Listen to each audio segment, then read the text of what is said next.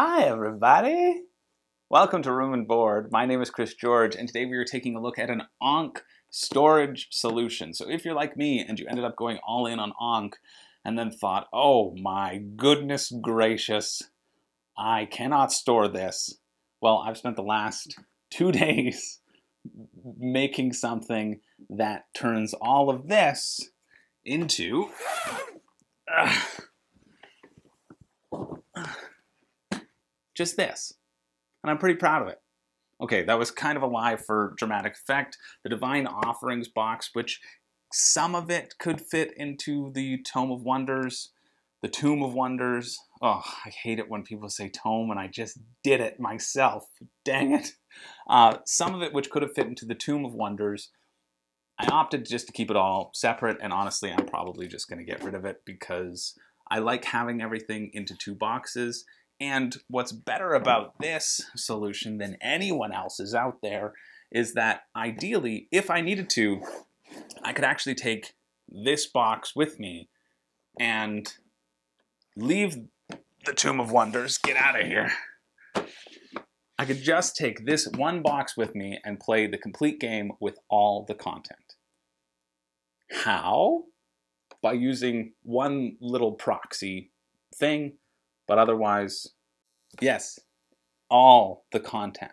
And when I say content, I mean gameplay content. So you have your pharaohs, all 12 clans in here, and all your guardian cards. Not all the guardians, obviously, the guardians will be fitting into the Tomb of Wonders, but if I'm just going out and I wanted to take Ankh and I didn't have room for two boxes, I still have all the Guardian cards in here, and you can always use proxies from the other clans to play the full game. You'll see it when we get into it. There's some room in here still where you could put a couple Guardians if you wanted to have those specific figures and not use proxies. I decided against it, but you may not. And don't worry, we've got it all. Let's switch it up. I'm excited to show you because I enjoy making these sorts of inserts. I feel like this was in desperate need of one, and I'm very proud in terms of how optimized this is for setup and teardown. Have I hyped it up enough? You'll have to let me know if mine sucks and yours is better. And if so, that's great. Make sure to leave a link to some pictures in the comments for everybody to look for those who are trying to make their own. Okay, I will not see you but I'll see your hands, or you'll see my hands. Jeez. Here we go. One quick note before we jump into it, if you find making inserts yourself an overwhelming experience, make sure to check out my Building a Perfect Insert on a Budget video. I am horrible with crafts, and I have slowly gotten a bit better, but you'll see this is not professionally done. It's hacked to pieces, but it works. And if it works, who cares what it looks like? It doesn't need to be wood. You don't need to break the bank on it. I spent $15 on the material for this, and really that's just because I'm using some deck boxes like I did in Rising Sun. You'll see it. I'm giving away the lead. Let's get into it. So here we go. Now, my main priority, as I was saying, is that for me to be able to take one box and play with whatever content I want. So again, if you watched my other video, you'll see that being flush with the lid is incredibly important to me. And there's actually something I could have added in here, but it would have given a little bit of lid lift. So I opted to not use the Kickstarter tools. So you have the map, the board right at the top, because the first thing you're going to pull, pull out is you're going to put the board on the table. And then we have all of our rule books here. We have the scenario book, the rule book, and then all the expansion sort of rule books. So in case you need to reference anything, that's all included in the main box. Now, ideally, when you know how to play this game a little bit better, I guess I should turn that towards you.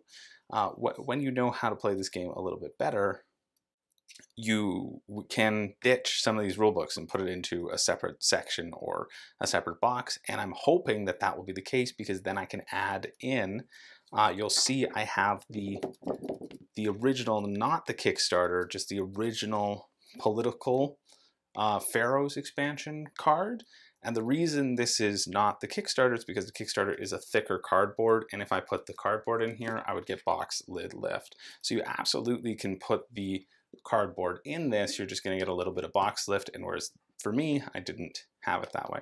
Then we still have the cardboard, the regular cardboard for your mm-hmm. actions thing and the devotion. Now here, also, because you're going to put that out, you're going to be setting up the board, right? Also with a with the thought of optimizing how you set it up, what happens next in the order of setup is everybody picks which god they want to be. So I have all of the different god dashboards, all 12 of them listed for you to take your random ones, and then you can just put that to the side. Um, now you see I have an empty space here, and that is just because I'm waiting on two different colored deck boxes for Amun and Thoth. I have a red and a white one coming. Uh, I just wanted to film this video right now before they arrived. But what I found with the gods is that these deck boxes, you may have noticed them from when from my Rising Sun solution, they actually fit an entire god's worth of the smaller gods. So this is Hathor, and Hathor is actually the smallest of the gods, it seems, because I was able to fit all of Hathor's regular people in here. Uh, I'll just uh, I'll just dump it out so that everybody can see what's in there.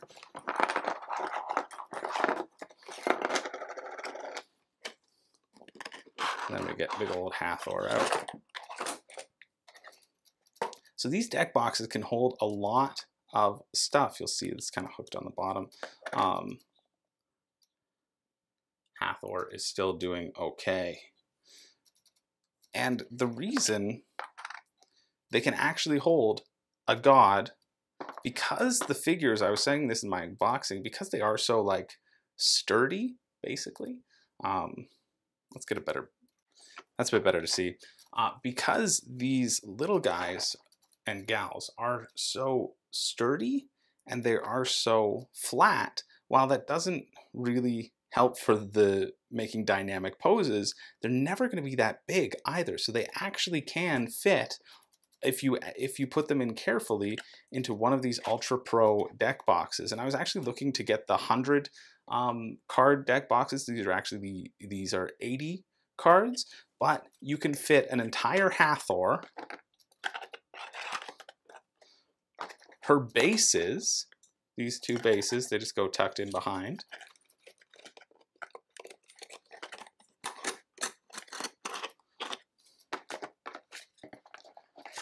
her separate deck of cards. Now these aren't sleeved.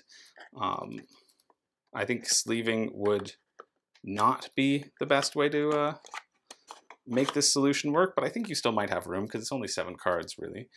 And then if you're careful, you just gently put her followers all around resting at the bottom and you can fit like four can see kind of how I'm adding them in.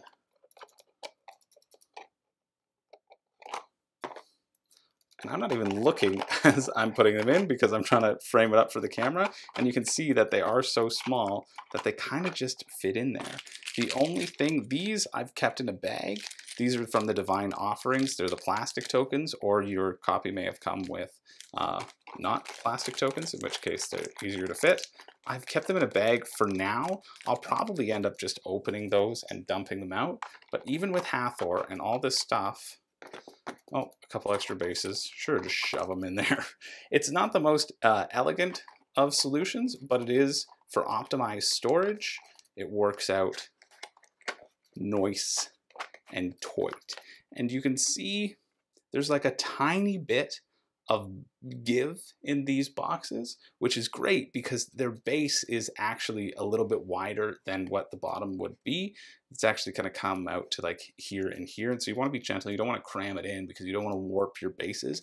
But if you are willing to be careful, you can then fit an entire god into the box. And what I've done is I wanted there to be a little bit more room for some of the gods, the smaller gods, we'll move on to the bigger ones in a second, um, and so what I did was I just took a little piece of construction paper and made myself a little base pouch. And all that this is fitting are these two sort of wide bases. Now I was contemplating not having the bases with the gods because in Rising Sun you get so many bases because you're constantly putting on monsters. But they only have four bases. You only have two big ones in case both of your Guardians, level 2 and level 3, are uh, the bigger versions.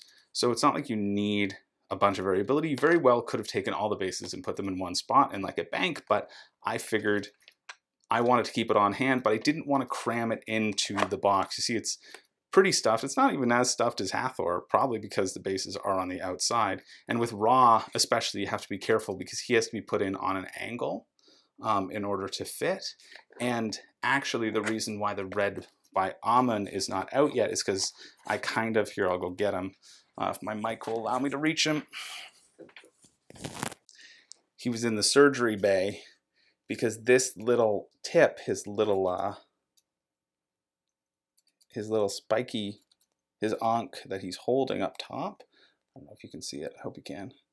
Um, this little thing is very delicate and it did snap off, but all it takes is a little super glue and it goes back on. Um, it did probably snap off because I was trying to jam him into one of these boxes. So the next time I put him in there, I'm going to also angle him to make sure that there's a little bit of give.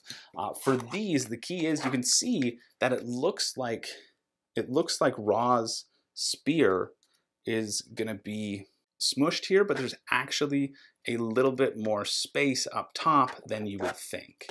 Um, and that's why if we look at Hathor again, you can see her cards, actually her cards have shifted down. A lot of the cards when I put them in were, uh, were sticking up a bit. Yeah, you see how Anubis's cards are sticking up a little bit? But that's okay because there is some, the top of the box is not here. There's actually just like a couple millimeters extra and that space makes all the difference, especially for Ra's little staff and it not snapping off. So six of the gods can fit into these deck boxes. And you can just, oh, I'm scratching. You gotta be careful not ripping your homemade little sleeves on the side. Um, six of the gods can fit into these deck boxes, and that is a huge space saver because for me, I wanted my main priority for this main box was to have all of the gods in one spot. Um, these I haven't sorted because I'm, I'm not sure if I'm getting rid of the divine offerings yet, so I haven't combined their little scorekeeping marker just so I don't have to go and separate them later. These are the uh, the tokens which can go there. Then take a look at this section first. Um, then I made a little a little tray that holds all of the monuments, the plinth, and the extra, the round trackers and the action trackers. So this is a three le leveled kind of tier. And then here, because when you access it, you're gonna then pull it out because you're gonna always have, you're gonna always need your monuments as a sort of bank as more monuments are built throughout the game.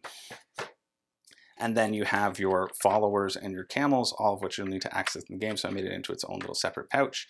Uh, and then here I have the the guardian cards where you can just take them out and choose which ones to use. Uh, and then also at the backs, I, I have the Pharaoh cards as well because they're all the same size. So they fit into this sort of 1.5 centimeter wall that I made um,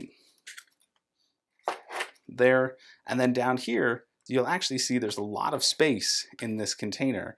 And I wasn't sure you can see these things fell. I have the, uh, as I, these are the merged God uh, things. So if your God gets merged, if you're last or second last, you merge. Um, and so I have these just tucked on the side. I made sure to incorporate incorporate that into my measurements. And the reason I wanted these on the side too is because actually this, you have that little bit of space from the devotion track if you needed them to stick up. They're not actually sticking up, so this didn't really matter, but that's why I initially decided to put these on the side. Um, here is all the Pharaoh stuff and the specific scenario tiles. So you're not, I'm not always going to use this particular expansion. That's why it's going to live at the bottom of the box. What you can do here you'll see there aren't any guardians in this solution. All of my guardians are in the other case. Uh, what I might do and was thinking about doing is you can create these can these can live on top of the cards, and then there's this open space where you could put the three smallest guardians. So the cat mummies or the mummies and um, some other guardians, they could feasibly live here. You just make a little dividing wall and give them their own little section. And the reason I would want them to live here is so that I could use them if I'm just taking this one box somewhere. I could use those little guardians at least as proxies. Um, the reason I am not going to use them is because I like having the guardians all in the same space. So that's why it lives like this. And these go here. Uh, now for the gods, this one was a little bit trickier because the key when you're making these, they're just made out of foam core, but there's two things to consider. I'll pull out Set first. Um, the one thing is that this box is not tall enough to be able to use foam core on the bottom. So you want to use some sort of cardboard on the bottom when you're making these little boxes. And I, you can see I just did, a, I just used a cereal box. So whatever you have on hand, that's cool. This is foam core. You can get it from the dollar store, big sheet for like a dollar fifty. And you can see that like the reason these guys had to live in these boxes is because they are too tall for the deck boxes. I actually thought Set might fit, and he could have if I was cramming it, but this just felt better because I had a I had a nice even number that I could divvy things out between. So we've got Set and we have Ptah as their the kind of smaller ones. They don't need that much space. You're going to want to measure this out when you're when you're creating this yourself. If you're interested in doing this, uh, what I would do is take you take a piece of cardboard and you put it down the length of here and then you can make it as long as you need your big guy to be then put the dividing walls, because you're going to have to slice them, map out how big you need your space to be for each one, and then you can also map out the, the depth as well. Uh, I originally thought I might put the Guardian cards or the Pharaoh cards like along here, but I ended up scrapping that idea just because I had that extra space and also because of the, mostly because I'm putting the divide, the, uh, the bases on there. Now, now we've got Sobek and Isis over here, and the key to this, Isis was actually the first one that I made, but the key to Sobek is his friggin' tail. So I'm to turn this, and you can see that his tail and his base are just poking out the bottom there a bit. And that's in order to make him flush because he's got a really unique pose that if he's shifted the way he was in the actual base. You can also see I cut out uh, a little a little hole for his staff. It doesn't actually need to reside in there anymore because I made the, the bottom base so big that he can slip into it. Um, but the key is to have Sobek on top, and then you position him just above Isis so that his little tail, so that his little tail just hangs into whatever space is available. It can it can be oriented in, in kind of any way, just not really next to the base. So I try to I try to make a little space and that way you can pass them out. And then whoever gets Sobek just needs to, you know, pull them out without breaking the tail as soon as you do it. And I did the same thing for Horus as well. Horus is awesome. He's probably the biggest mini that's out there but you also he also is a little bit wide not as bad as Sobek but I gave a little you can see there that his little uh, his little spear is poking out the bottom there. So in order to lessen the box lid lift, don't be afraid of making these little holes. It's not like things are going to fall through. And then the rest of the pieces are just like, there's so, there's so much space because they are so big. So there's never a worry. And then Osiris is down here because he's so tall. And again, I put both of them together because they're kind of the tallest ones um, and the least bulky. You can kind of arrange these however you want, but that's just how I did it. So with this, I'm actually, I'm very happy with being able to have all of the gods in one box because I wouldn't want to use proxies for the gods. And then if I'm out somewhere, I can uh, take all my guardians, which are in the second box. So we're just going to put this back together.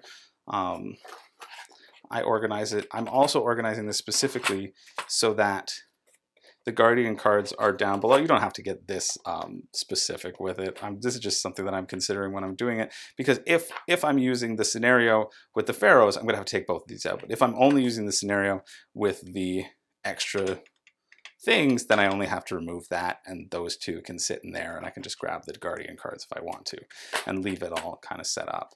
Um,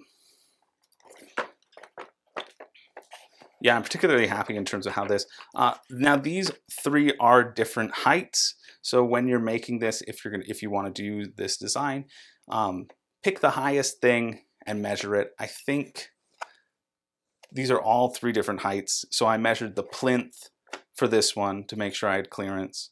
And actually, I didn't think the plinth was going to go in this one, to be honest. Um, so I measured the plinth for that one.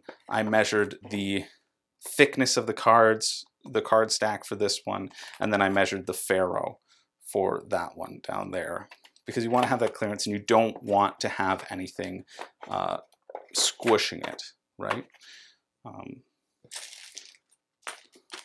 and those just go on top there. I might try to find, try to make a little section for those as well so they're not a bag because I find as I the more I do this the less bags I enjoy owning but yeah I'm uh, I'm pretty happy with how accessible that makes everything. Ra is see when I pulled Ra out he's his box lid was lifting a little bit so you got to be careful. Um,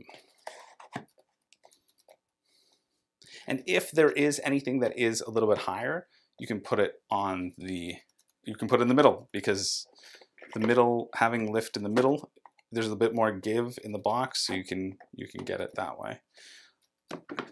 That goes there. We then put the bigger thing on top, and this is where you need to make sure you can see that my make sure you include your measurements when you're making the other ones that you have an extra little bit of room, you can see that this stuff is flush together. Actually, it's flush with Horus. It's not flush with the other ones because all I did when I made these, I actually uh, made so many mistakes. You can see, um, I'll pull one out. I'll pull Sobek out. I made so many mistakes and I thought, oh man, I overestimated. It's always better to overestimate.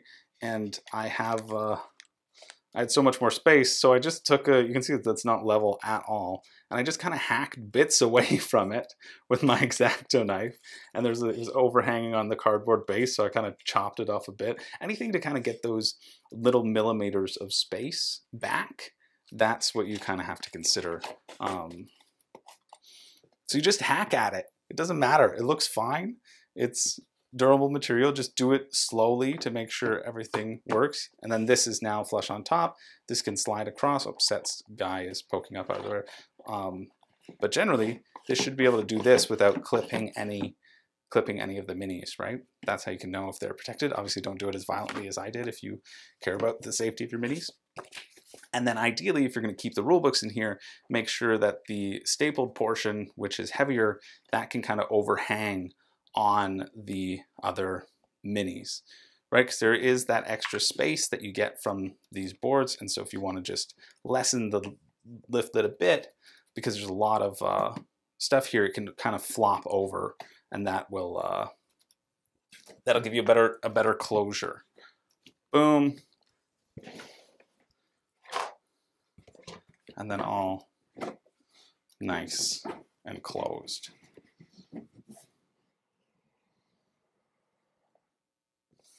And then if we flip it,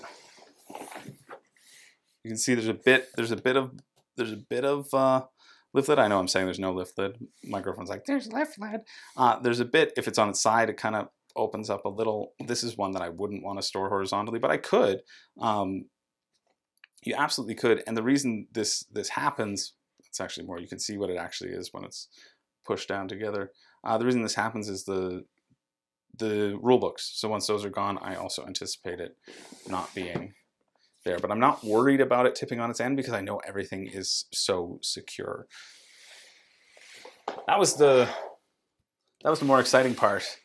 Uh, for the Guardians, I just wanted to make sure I could get all the Guardians into one box, and you'll see I actually have a bunch of space still left. Uh, the reason, again, this is in the middle is because it's a little poofy, but instead of like trying to smush and, and trim off some stuff, which you can do, uh, I just put the biggest part in the middle and then it kind of holds. This one has like a tiny bit of lid lift, but I'm not too worried. And all I did was I took the existing inserts, I talked about this in the building custom inserts on a budget video, uh, use the inserts that are right for you. So you very well could make three tiers of foam core and just throw all the guardians together if that's something you want to do. For me, I intend to paint these. Um, I'm going to do. Uh, I'm gonna I'm gonna paint one because I'm so bad at painting, and then I'm gonna get Zach to paint one. He's exceptional, and then we'll compare. I might I'm planning to film it, so we'll see if uh, we'll see if that horrible painting series takes off. So that that these were the guardians. These were the guardians from the main box. And then here, I you just again hack out the bits that no that you no longer need. So these two were from the Guardian set. Each each pair of these is going to be hacked out, and I did that because I noticed at the in the Tomb of Wonders, uh, you get this section right here but down here are the Sobek and Ptah warriors. So I just chopped that out and then there was space in that row. So I wanted to include the Guardians. And then here, it looks like this was, this was, uh, I'm pretty happy with this actually. Except here, this is kind of fallen. Um, what again, you just hack out the parts that that you don't have. So down here was actually Sobek and Ptah and the Pantheon, the plinth. Uh, so what I did, these are again Guardians. Basically, you're just trying to cram in that extra Guardian set. If you got that extra Guardian set, if you don't, you don't have to worry about it. Um, you have a lot more space. But I just cut out each of them into their own individual portion. Ooh. This little guy, those two guys go together. These are three in a set. Where'd my third guy go? Oh, he fell down here. He's kind of resting up top there for easy access if we're going to use those guys. These are also ones that like I could put uh, and and honestly looking into this and seeing it, I may put these guys into these guys in particular from the Guardian set into that main box in that Pharaoh section. It kind of seems like something I might do. And then also hear the more crocodiles that were there.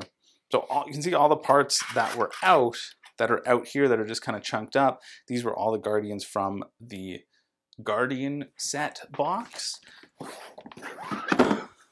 This box and I knew I just wanted to have all my guardians in one spot. I wanted to say, okay, we're picking who? Great. Then you open this box and you take out the ones that you want. So I'm keeping this one on the bottom. You'll see there was also this extra space up here that wasn't needed. And there was space down here that wasn't needed. And I thought, okay, great. And all I did was I cut these out into their own little portions and I stuck the ones in that seemed to be the same height. That's it. that guy goes there. They honestly both maybe could go down here. Nah. Goes here. He was kind of up there. He fits, he nestles in nicely. And then I just had an extra little guy down there. Actually, I'm pretty sure it was him because I gave I gave him a little extra extra space because you can use these lips to hang off of things and like still not damage anything. Uh, this guy can go there-ish is how I had them. I mean, you can also just, he's protected. You just stick him in there. He's fine. Um, and then this guy was also balancing kind of, kind of in this, in this little crater as well. I wanted to use this space. It's not actually perfect. I may go back and cut out a little section, but for now it works and then putting it back, you this also served as the lid for this, right? That's why these two have to go in order. So you either use this as your bottom or this as your top. And I think it works better as the bottom because that's kind of what it was designed for because it can still hook on and protect in the little ways that it should have. And you can see that baboon's little stick was sticking up there. And then I put these, actually I kind of forget where I put them. I think they go this way, yeah. Let's well, you can you can rewind and see. Uh, you basically just fiddle around with the bases, right? Because the bases are the the biggest part, and you see where they where they jut out or where they don't. That seems nice. And then again, you just put. Oops. I wanted to keep this lid on. You see, I just kind of. I like having the lid on it a bit because it gives it some sort of protection and stops it from flying all over the place. You can see that it's a little up. Um, it's caught on there. There we go. That's better. Much better. And then you just close it up. Again, we'll do a little flip. I'm not that worried about it flipping. I mean, if I turn this, um, the Shezmu and that other crocodile is going to fall, but that's okay. Ah, I'll do it for you. Ah. You see there's a little bit of box lift. There's a little bit of box lift on this one. Let's see how, how much they went all over the place. Uh, they didn't. That's good. It's really great because these, these guys are the only ones who are going to be able to um, flop around, really. Because I didn't keep their portions on. I guess you get a little bit of sticky tape if you wanted them to have a lid. You just get a little bit of sticky tape and you keep those and you just press it down on them. That could have been something I did, but that's already in the recycling, so that's not anything I'm going to do. Anyway, I've spent a long time on this. You get the picture. Um, hopefully that was helpful in managing this giant thing. I know I was really excited to get Ankh to the table and then the five boxes showed up and I just thought, oh man, this is this is too much to be able to have to pull out. And I could already feel myself not wanting to play it because I had to pull out so much. So by doing this insert and mapping it out and really taking my time to figure out what I wanted from it and what I wanted, what would help me set up and what would help me optimize getting it to the table because that's the whole point. The whole point is to get it to the table sooner. So I was I'm pretty happy with how this turned out. I still haven't played it yet, and that was one of the main reasons. I know in my other video I say don't don't make an insert without playing it, but I felt with my experience with Rising Sun and my experience reading through this rule book and knowing the sorts of things that I wanted to accomplish from this thing and, and thinking about the flow of setup and teardown, uh, I feel pretty happy with how this turned out. And Hopefully it helps you as well or you found it was interesting. And go enjoy playing Ankh. I know I certainly will. See ya.